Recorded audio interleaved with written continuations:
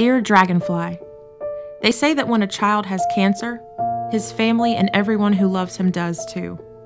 When our 16 month old son was diagnosed with the disease in the fall of 2015, the news sent a shockwave through all of us. Upon hearing the news, I fell into a state of silence and denial. Not my baby, I told myself. Not my baby. But it was my baby. It was a blow that I will never forget. Something else I'll never forget? The moment a dragonfly landed on our family.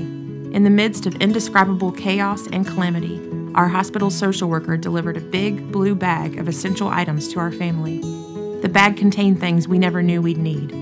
Our social worker introduced us to the Dragonfly Foundation and your incredible mission to bring comfort and joy to kids, young adults, and their families enduring cancer and bone marrow transplants.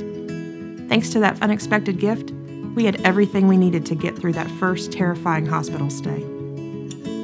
As the months passed, our hearts hurt as we watched our little boy struggle and suffer. Still, when our hearts were overwhelmed, you were there. You sent surprise gifts for our little one. You treated us to fun events and outings that allowed us to regroup and reconnect as a family. You gave us free rein to visit the landing as often as we wished, giving our sweet boy time to play in a safe, clean environment while his body worked to heal. After our son became a dragonfly, we found the comfort and joy that the Dragonfly Foundation hoped to give us.